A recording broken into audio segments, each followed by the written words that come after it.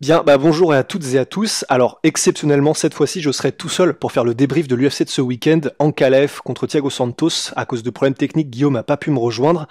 Donc, on va parler de Ankalaev décevant un petit peu et qui, bah, il y a pas mal d'articles sur Internet qui demandaient, qui posaient la question, est-ce que finalement Ankalaev, malgré la victoire, n'a pas perdu un petit peu en termes de, stonks par rapport à la course au titre en light heavyweight? On va revenir aussi sur les performances incroyables qu'il y a eu sur cette carte, notamment de Song Yadong, aussi de Khalid Roundtree et même de quelques autres qui ont été absolument impressionnants. On regarde ça tout de suite après le générique.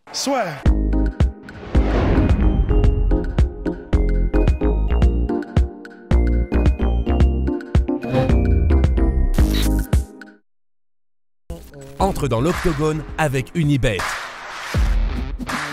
Qui sera le vainqueur du combat? En combien de rounds? Fais tes paris. Voilà, donc c'était l'UFC Ankalev versus Thiago Santos. Alors bah pour tout de suite attaquer sur le sujet principal, bah en fait Ankalev Santos ça a été un peu décevant, en tout cas à mon sens, parce que pas beaucoup d'engagement de part et d'autre, parce qu'ils se sont beaucoup regardés sur les 5 rounds. Je sais que vraiment le nombre de coups échangés c'était extrêmement pauvre statistiquement. Et en fait c'est un peu l'impression que j'ai eu en tout cas en regardant ce combat, c'était vraiment... Il se regarde beaucoup. Ankalev, certes, a le centre de la cage et c'est lui qui met la pression, mais il ne se livre pas non plus forcément énormément. Donc on a eu beaucoup de feintes des deux combattants. On a eu euh, Thiago Santos, c'était très étonnant, qui était vraiment presque nerveux en fait. Euh, il faisait beaucoup de feintes, mais il ne lançait pas beaucoup de coups, donc ce qui fait que finalement les, feintes ne servaient pas forcément à grand chose. Et il surréagissait à chaque fois qu'il y avait une attaque de, de Ankalaev. Enfin, c'était vraiment assez impressionnant. Je sais pas si c'était une appréhension parce que les deux sont des très gros frappeurs et que du coup ben, personne n'a envie de vraiment se lancer. Mais en tout cas, le combat était. Je pensais que ça allait justement être spectaculaire parce que Thiago Santos aurait à, aurait à cœur de se, de, de reprouver que c'est un combattant justement qui en veut et qui veut faire du dégât parce que son dernier, sa dernière sortie contre Johnny Walker avait été décevante aussi. Et en fait, non. Alors, je sais pas si c'est quelque chose qui mentalement n'est plus là. Je sais pas s'il y a eu une cassure qui fait qu'il n'ose plus s'engager.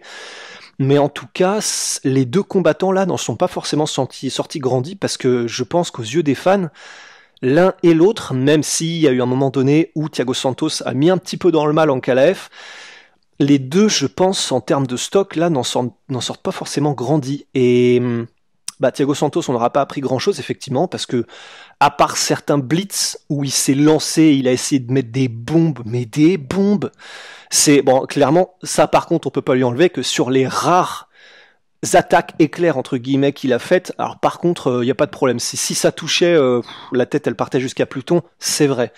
Mais ça touchait pas. Et ça touchait pas, il n'y avait pas vraiment eu de construction pour que ça touche de plus en plus facilement.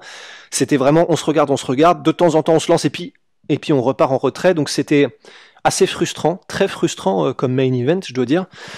Et puis, ben, du coup, pour Thiago Santos, ça fait, ça fait une défaite. Euh, de plus en plus, il s'éloigne un petit peu, entre guillemets, de, là où c'est chaud, hein, dans la catégorie light heavyweight. Et pour Ankalev, ben, ben c'est vrai que il n'y a, a pas eu ce côté tueur, ce côté finisseur, force inarrêtable, en fait.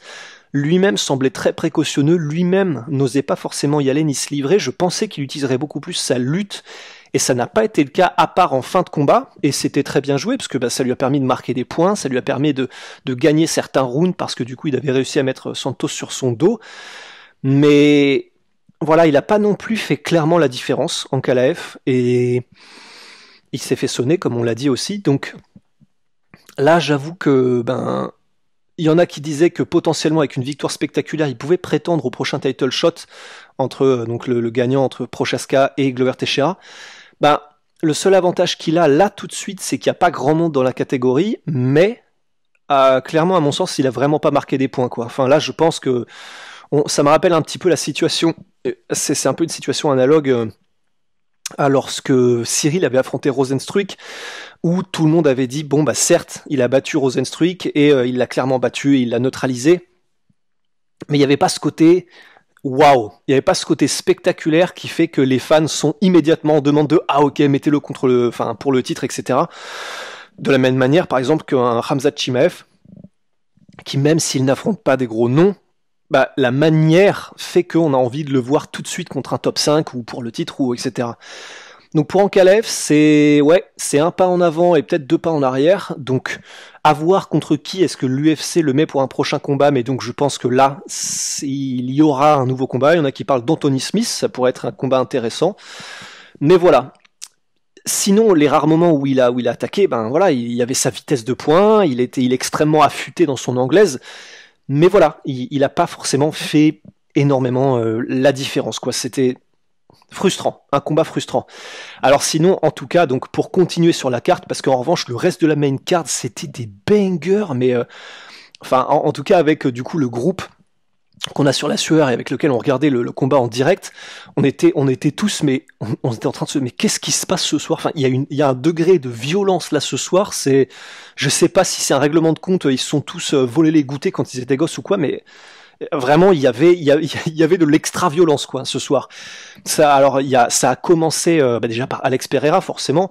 On en reparlera beaucoup plus en détail dans une vidéo qui sortira bientôt et que que que, que voilà que j'ai commencé que j'ai d'ailleurs que j'ai enregistré écrit et enregistré euh, donc mais pour Pereira en tout cas il a été impressionnant, mais d'un autre côté, en fait, on sent clairement qu'il est encore vraiment dans sa transition. C'est-à-dire qu'il y a, il y a des moments où j'ai eu très très peur qu'il se fasse choper, un peu comme Aaron Pico, en fait, dans le sens, il est Bon, c'est pas c'est pas qu'il est bon, c'est qu'il est, il est il a presque atteint le statut de légende en kickboxing, double champion du Glory, on rappelle.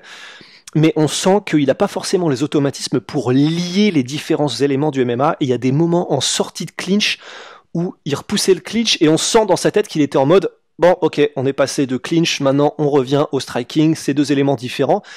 Et il avait vraiment parfois le menton à la fenêtre au point où franchement, c'est pas qu'il a eu du bol, mais si jamais il y a, Bruno Silva qui décidait de lui mettre un coup un peu à la Dan Anderson contre Shogun Rua, donc le deuxième combat, ah, franchement, je, je pense qu'il la prenait plein pot et c'était vraiment dangereux.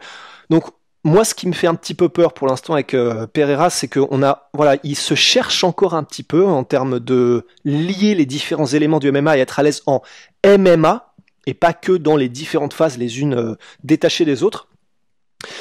Donc ça, ça me fait un petit peu peur, mais c'est vraiment voilà, il est, il, a, il a dédié sa carrière au kickboxing jusqu'à maintenant, donc c'est normal aussi qu'il y ait un, processus d'apprentissage qui soit encore là, qui soit encore en, enfin, en, on soit en plein dedans. Il est avec Glover Teixeira qui, bon, il n'y a pas de problème. Hein. Glover Teixeira, il y a, il y a en tant que coach, difficile d'avoir quelqu'un de plus expérimenté, de plus intelligent que Glover Teixeira sur ce qui est des différents éléments du MMA. Le mec a 20 ans de carrière. Donc, pour moi c'est parfait parce qu'il a pas terminé le gars, il a pas terminé Bruno Silva, mais il était vraiment, euh, il était à un cheveu. Enfin c'est clair. le troisième round, euh, quand il a commencé à accélérer et qu'il a commencé à vraiment toucher Silva, tout en gros la manière dont Silva a terminé le combat, donc l'arbitre a sonné la fin du combat, il est tombé sur ses deux genoux, on sentait qu'il était vraiment, mais euh, il suffisait de 30 secondes de plus et je pense que Alex le mettait KO mais il a été, il est, il est très très chaud Bruno Silva. Enfin vraiment, il, lorsque je, je regardais ce, ce qu'on dire les différentes statistiques et les différents historiques des deux combattants avant de regarder, euh, de, de, pouvoir essayer de, de, voir ce qui allait se passer dans ce combat, vraiment je me suis dit ok, d'accord l'UFC met Bruno Silva en face parce que c'est un striker lui aussi et que l'UFC veut probablement un, un, combat spectaculaire. Mais il était vrai, il est extrêmement dangereux Bruno Silva. Enfin vraiment, c'était pas non plus un cadeau pour Alex Pereira. Donc, euh, et il l'a montré parce qu'il était beaucoup plus, il arrivait à beaucoup plus placer ses combinaisons, Bruno Silva. Honnêtement, je l'ai trouvé plus impressionnant sur la manière dont il arrivait à combiner pour toucher Pereira. C'est juste que lorsque Pereira touchait, il faisait plus mal. Mais très franchement, il était pas complètement, il était pas en dessous, quoi, hein, Bruno Silva. Franchement, il a, il a vraiment géré jusqu'au moment où effectivement, bah, clairement, la précision et la puissance de Pereira, à un moment donné, même s'il faisait plutôt du coup par coup Pereira, euh, bah, clairement au troisième round euh, c'est un coup par coup mais euh, tu as l'impression que c'est coup par coup mais qui a vraiment une division d'écart en termes de puissance et ça a fait la diff quoi donc c'est cool pour Pereira parce que ça fait trois rounds où il y a eu du clinch, où il y a eu du sol, où il a vraiment pu apprendre beaucoup, même au niveau du cardio, etc. Une bonne expérience. C'est bien qu'il l'ait pas mis direct contre un gros gros nom de la catégorie parce que clairement il a encore beaucoup de progrès à faire Pereira. Mais voilà, clairement il, voilà, il est là pour rester quoi. Et puis sinon, euh, on a eu Drew Dober, Terence McKinney, mais ce combat, mais ce combat, Donc Terence McKinney, le roi des finitions au premier round, il a envoyé, mais il a envoyé l'enfer sur Drew Dober, comme d'hab. Hein. Mais, sauf que cette fois, il est tombé sur un Drew Dober qui est, il a refusé de tomber, en fait. Il a pris, je sais plus, deux ou trois knockdowns dans les, dans la première minute, un truc comme ça. McKinney était en feu, mais il lui a tout mis, quoi. Il lui a tout mis. Mais bah, Drew Dober, mais euh, c'est vraiment impressionnant des deux côtés, quoi, parce que Drew Dober, devant la créativité, la furie, la puissance, la vitesse de Terence McKinney, bah déjà premièrement, il a eu son mental, parce que même s'il tombait, lui, il était déterminé à ne pas se laisser, euh, à pas s'en laisser compter et à remonter quoi qu'il arrive. Il refusait de, de, de, de s'écrouler et de, de s'avouer vaincu. Et à un moment donné, après que McKinney ait mis la tempête sur Drew Dober, Drew Dober a réussi à renverser la vapeur et à mettre hors d'état de nuire pour un comeback, euh, mais un comeback légendaire, à, mettre hors d'état de nuire euh, Terence McKinney. Franchement, ce genre de scénario, si c'était pour un combat pour le titre, vraiment, on aurait mis euh, un des plus gros comebacks de l'histoire. Là, ça l'était, mais c'est juste que c'était un petit peu plus loin dans la carte. Mais vraiment, bah pareil, McKinney qui prenait le combat en short notice, il, voilà, tout le monde gagne du respect pour un truc. Il a livré une performance extraordinaire. Il a vraiment amené le combat à Dober. Et Dober, bon bah voilà, maintenant on saura que pour le mettre euh, hors d'état de nuire, il faut voilà, faut, se ramener avec un char d'assaut en fait quoi. Donc impressionnant, euh, Drew Dober.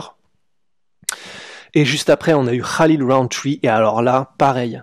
C'est à la suite, on avait des combats d'une rare violence. Et Khalil Roundtree, la manière dont il a terminé Carl Robertson, c'est quelqu'un d'extrêmement gentil et ça se sent euh, Roundtree dans la vie de tous les jours. D'ailleurs, son, son, son discours d'après combat était vraiment touchant où euh, on sentait qu'il avait vraiment des trémolos dans la voix parce qu'il disait euh, je veux pas attendre d'être champion avant de raconter mon histoire parce qu'en gros c'était un c'était un gars, un adolescent qui était en surpoids mais obèse morbide. Il était, il le dit lui-même, il était à 150 kilos, il avait des envies de suicide. Et il dit, bah voilà, je voudrais juste partager l'histoire parce que je, suis revenu de tout ça, j'ai réussi à m'en sortir, maintenant je suis là aujourd'hui et je voudrais pouvoir inspirer des gens qui sont dans la situation dans laquelle j'étais, donc vraiment, enfin, quelque chose qui, ça filait des frissons, quoi. Donc très gentil et vraiment euh, un personnage extraordinaire, sensible, etc. Mais alors par contre, dans la cage, euh, la sensibilité, enfin, oublié au carrefour, quoi la violence avec laquelle il a terminé euh, Carl Robertson, la férocité des attaques et enfin la séquence de finition, il arrive à il arrive à mettre knockdown Carl Robertson, je ne sais plus exactement sur quel enchaînement, sur quel coup. une fois que Robertson est au sol, il lui met un un espèce de penalty. Alors heureusement du coup c'était au corps. Ça a fait un bruit mais un bruit de claquement. Tu sens que Robertson qui était au sol et qui était en mode OK, bah maintenant faut se relever, je suis au sol. Il l'a pris mais pleine balle en mode batte de baseball euh, sur sur cadavre quoi. Et ensuite, euh, il a même essayé de le stomper. Enfin, on sentait en fait qu'il y avait euh, la, violence que Riley Roundtree avait en tête dépassait un petit peu son, le, degré de contrôle qu'il pouvait mettre sur ce qui se passait. Quoi. Enfin, clairement, il voulait terminer, il voulait absolument terminer, mais juste la, la violence c'était trop, donc ça, ça, ça, ça, ça dégoulinait et il pouvait pas s'empêcher de faire des coups qui c'était légal, c'était à la limite quoi. Le stomp qui met en mode Pride, qui aurait pu passer à la tête euh, sur Carl Robertson, enfin vraiment c'était, tu sais pas ce que Carl Robertson avait fait avec Alien Roundtree et apparemment rien parce qu'il y avait aucun bif entre les deux. Mais alors la violence, enfin vraiment, j'avais rarement vu un truc pareil euh, dans l'octogone quoi. C'était, c'était, il avait, il était là de toute façon par essence le MMA est violent euh, dans le sens c'est de la violence physique, mais comme disait John Danner, c'est de la violence physique sans le côté négatif de la, violence, parce qu'il y a normalement pas ce côté je suis violent envers toi pour faire des choses à ta famille, ta femme, etc. C'est juste de la violence physique. Mais là, il y avait un degré d'engagement et de volonté de nuire de la part de Kalin Roundtree, c'était impressionnant, même pour des gens comme du coup euh, nous et vous qui suivez le MMA de manière régulière, quoi. Donc euh, impressionnant de la part de Ryan Roundtree. Et puis bah, pour finir, euh, Song Yadong, qui, qui, euh, bah là, qui avait son test le plus sérieux de, en carrière contre Marlon Moraes, qui, on le rappelle, a affronté les meilleurs et en a, a battu certains. Par exemple, José Aldo, même si le combat était très serré.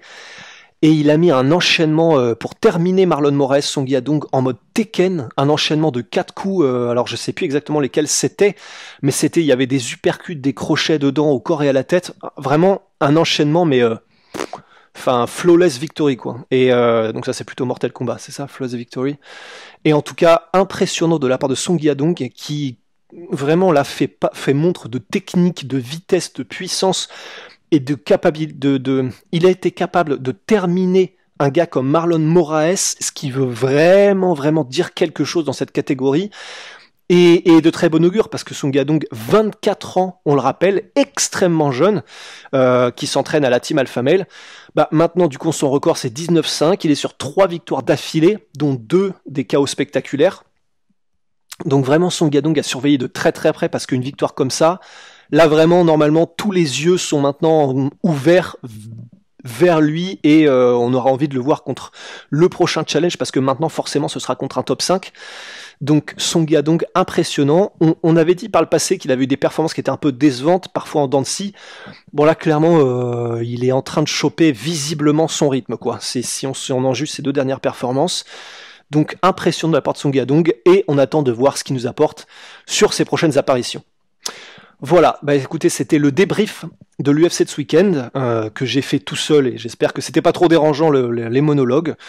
Euh, bah écoutez, voilà, on y est. Donc euh, il me reste plus qu'à tout seul sponsor, remercier donc nos sponsors MyProtein, My Sweet Protein, Venom et puis et puis et puis voilà. Et puis bah écoutez, bonne fin de week-end à vous. Passez une bonne soirée, prenez soin de vous et à très vite.